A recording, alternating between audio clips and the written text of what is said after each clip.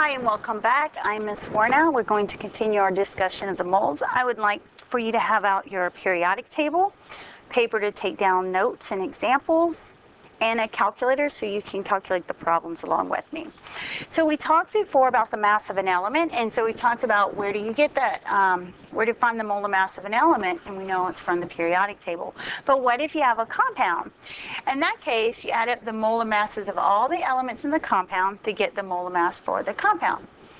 If the formula contains subscripts, you need to count the element um, the same number of times as the subscript. So like H2O, you count the hydrogen twice and oxygen once.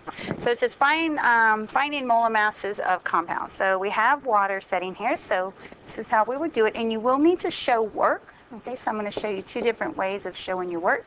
You have hydrogen and oxygen, so you can say, oh, I have two hydrogens there, I have one oxygen.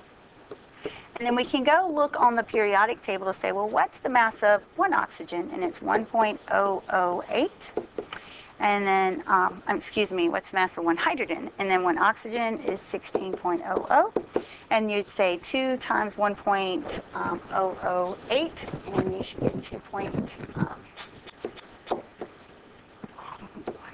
here. And then 1 times 16 is 16. And then what you'll do is add these up, and you end up with 18.02 grams per mole. When we do molar masses, um, when we go to write the final molar mass, we always just carry it out two decimals, um, just like we did with average atomic mass. And notice I also have the unit there. Then over here, um, you should recognize this as calcium um, hydroxide. So here's another way you could do it. You could say, how many calciums do I have? One. And look on the periodic table at what the mass of uh, one calcium is, and it's 40.08 plus you can look, okay, how many oxygens do I have? Well, this 2 is multiplied to the subscripts in here, and there's an understood one here, so 2 times 1 is 2, so we have 2 oxygen there. And look on the periodic table, and it's 16.00 for 1, plus, then you have um, 2 hydrogens, and on the periodic table, hydrogen is 1.008. And then you do the math here. This kind of looks familiar. We kind of used this setup when we did uh, average um, atomic mass. And so when you do that, what you're actually going to get in your calculator is 74.096. But remember I said that we always carry out our molar masses two decimal places. So that's actually going to be 74.10 because this 9 will round up. Okay, and you end up with grams per mole. All right, you should pause the video and try to do NH3, which is ammonia. Remember, that's one of the compounds, uh, water and ammonia, and methane was the other one that you need to know. And then aluminum nitrate. Right? And so then here would be the answers.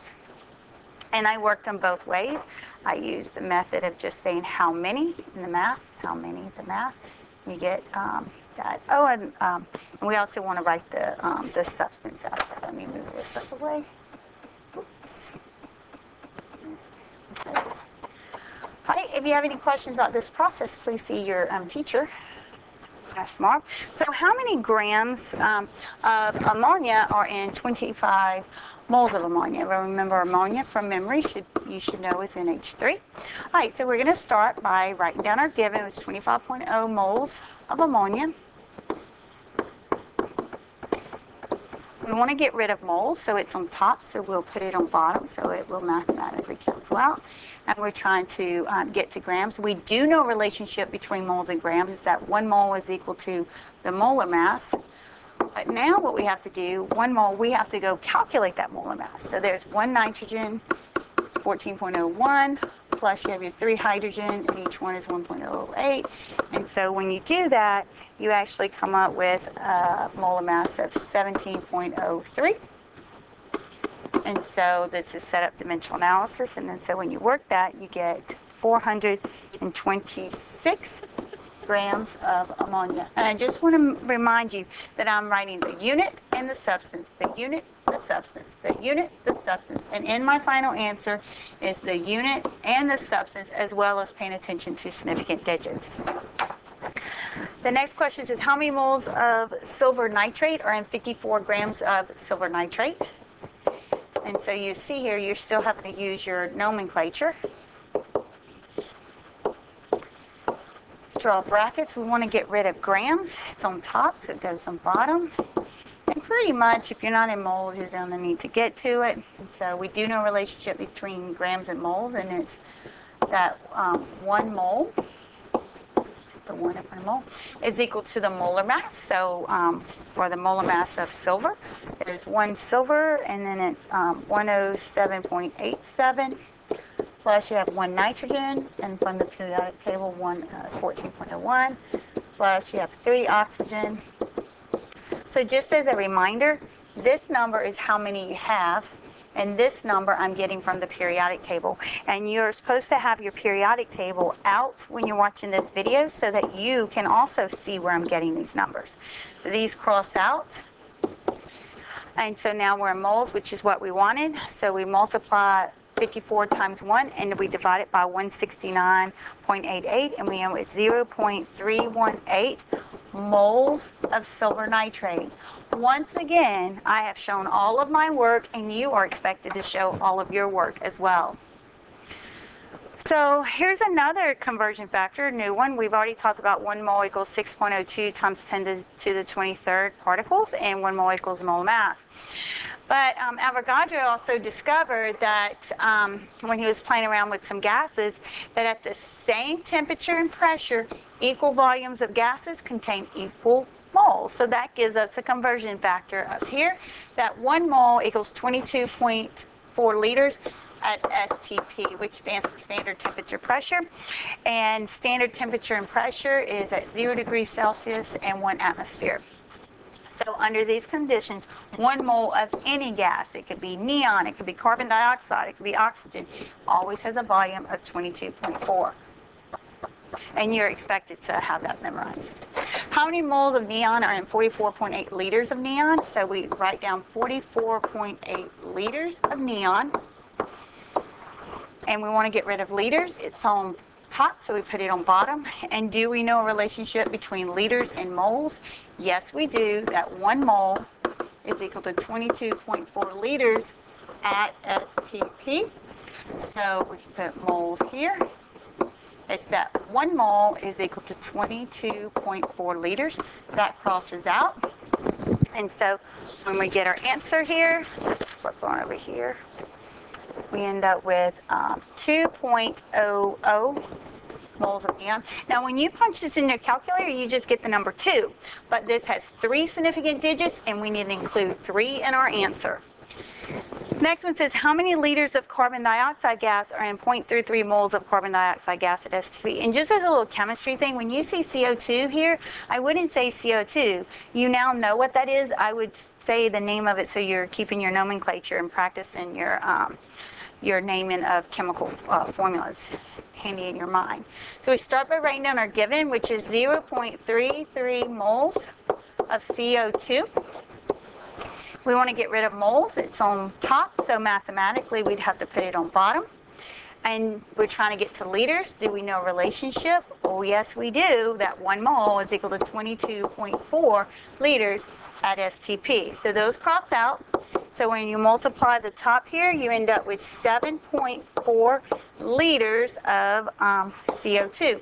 Notice that I'm writing my number, answer, paying attention to significant digits. I'm including my unit, and I'm writing my substance in my final answer, and you are expected to do that as well. So putting it all together, how many molecules are in 45.6 grams of carbon dioxide? Well, we start by writing down our given. This is what we were doing the, uh, at the beginning of school, dimensional analysis. Carbon dioxide is CO2. This is what we did in the last unit. We draw brackets. We want to get rid of grams. It's on um, top, so we put it on bottom. Now, we don't know relationship between grams and molecules, or we always want to go to moles, okay? So we want to use the moles as a, uh, as a little stepping stool here. So we're going to get to moles, and what's the relationship between moles and grams? That one mole is equal to the molar mass. And so the molar mass of CO2, I know is 44.01, but I'll just remind you how to do that. There's one um, carbon. I look on periodic table, has a mass of 12.01 plus we have two oxygen and look on periodic table each oxygen has a mass of 16 so when you add that up multiply and add that up you get 44.01 Now we're in moles, but we want molecules, so we can keep on going. So moles to molecules, and I probably didn't leave myself enough space here, but one mole is equal to 6.02 times 10 to the 23rd molecules. So we are left with molecules. And so when you punch this into your answer, um, into your calculator, you should get 6.24 times 10 to the 23rd molecules of CO2. So how many grams of calcium hydroxide are in 2.34 times 10 to the 23rd formula units? We have to use formula units because calcium hydroxide is an ionic compound. We use molecules here because this is a covalent compound. So we write down 2.34 times 10 to the 23rd formula units of calcium hydroxide, CaOH2. That's how the nomenclature. We want to get rid of formula unit, so it's on top, so we're going to put it on bottom. And we need to get to moles. If you're not in moles, you're pretty much going to have to get to moles. So one mole of calcium hydroxide is equal to 6.02 times 10 to the 23rd formula units. If we stopped here, we would be in moles, but we want grams, so we have to keep going. Whatever unit's up top comes down on bottom. Now, do we know relationship between moles and grams? You bet we do. And it is that one mole is equal to the molar mass of calcium hydroxide. So then you'd calculate, you'd punch in your calculator 1 for 1 calcium, 1 times 40.08 plus 2 times um, 16 plus 2 times 1.008. And so when you do that, let me see here, you get 74.10. I believe we did that molar mass earlier. So we do equals here. We multiply everything across the top and divide it by the bottom. And I get, change colors here since we're out of space, 28.8 grams of calcium hydroxide. All right, on the next one, says how many grams of helium gas are in 1.25 liters of helium gas? Start by writing down our given, 1.25 liters of helium. Since this is at STP, we know that one mole is going to be equal to um, 22.4 liters. So we do this. One mole is equal to 22.4 liters. If we stopped here, we would be in moles, but we want grams, so we have to keep going. Whatever unit's up top is going to come down on bottom, and we know the relationship between moles and grams is that one mole is equal to the molar mass, and so we just look at the molar mass from the periodic table. And so when we work this one out, we end up with 0.223 grams of helium. You gotta love dimensional analysis. Right, putting it all together. So wrapping up the ideas, we know that one mole equals 6.02 times 10 to the 23rd. We know that one mole is equal to the molar mass element or compound, and we know now that one mole equals 22.4 liters of any gas at STP. But we can also relate moles to chemical formulas. So what if we're talking about water? We could say one mole of water gives us two moles of hydrogen and one mole of oxygen. All right, so let's see if we can work a problem with that. 7.90, it says how many moles of hydrogen are in 7.9 moles of water. So we write down 7.90 moles of water we want to get rid of the moles of water, but we still want to be in moles. We just want to be in moles of hydrogen. And so we look and we say, oh, for every one of these, how many hydrogens are you going to get? Two.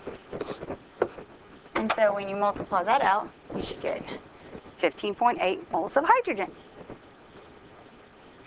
We can also relate moles to ions. How many moles of ions are in one mole of magnesium chloride? So magnesium chloride, remember, is MgCl2.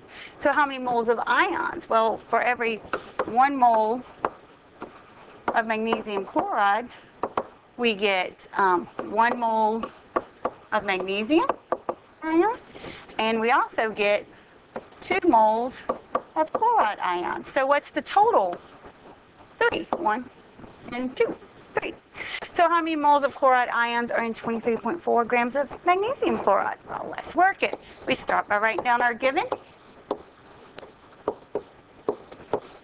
We're not in moles, so we really want to get to moles. So we can get rid of, we get to moles here. We know that one mole is equal to um, the molar mass of this, and this molar mass is going to be 95.20. You should pause the video and calculate that yourself. Now we're in moles of magnesium chloride, but it wanted moles of chloride ions. So we're going to have to do a mole ratio between the compound, so moles of magnesium chloride, we can get to moles of chloride ions. For every one of these, we get two moles of chloride ions. And so when we work that out, we get 0.492 moles chloride ions. So the ions never go away, The dimensional analysis never goes away, and you're just steadily learning more and more relationships in terms of the mole. This concludes video two. Be sure you took in-depth and high-quality notes, to have good example problems um, in your notes, and be ready to come to class with good questions.